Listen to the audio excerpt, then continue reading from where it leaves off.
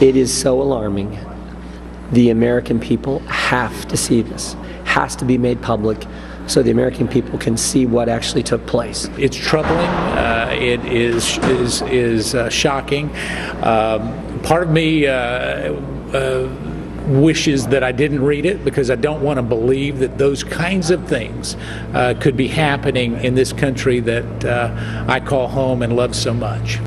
A lot of reaction there now. Part of it now from Republican lawmakers on a secret four page memo. That memo deals with the Department of Justice and, and the FBI, suggesting abuse of surveillance methods by both departments. Florida Congressman Republican Matt Gaetz with me now. Sir, good morning to you and a happy Friday to you. We'll see whether or not you guys are working this weekend. Have you seen the memo, sir? Yes or no? I have, and I share the concerns that have just been expressed by Congressman Meadows and Congressman Jordan.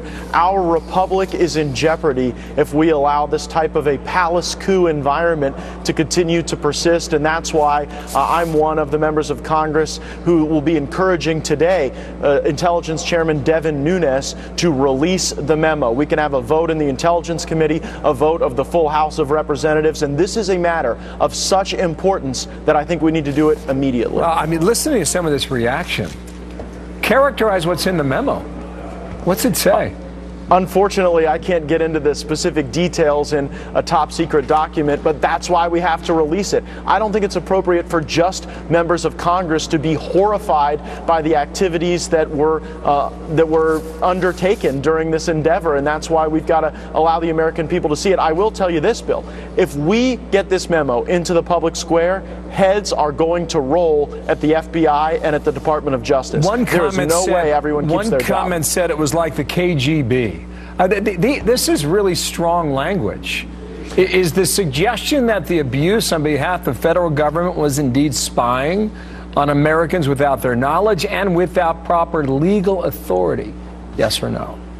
Uh, uh again, that would get into the specific contents of the memo. I can tell you that we can never live in a country where this type of thing happens. Uh, and particularly the authentication processes that are laid out in the memo are of such fiction. They are so laughable that they would never withstand scrutiny from the public. And what I'm worried about is that the cast of characters identified in this memo is not a group of people who are gone Many of these people are still in our government. They still wield influence, and that's why we've got to get this information but you, you just said people will be fired at the FBI and Department of Justice, and possibly right? worse. I think that there could be people who could face criminal consequences as a result of the activities that are laid out in this memo. And it's easy to see after reading this memo why Senator Grassley and why Senator Graham wanted to refer this matter for criminal prosecution. Laws were broken. Wow, this is a big deal here. Um, Will we see it? Yes or no?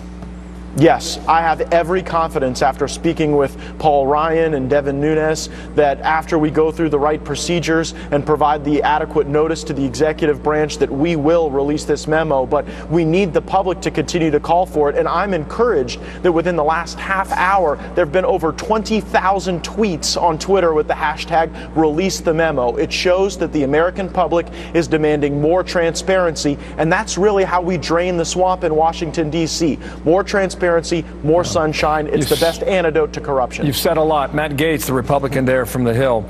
We await to see it then. Absolutely. Thank you for your time. Thank you.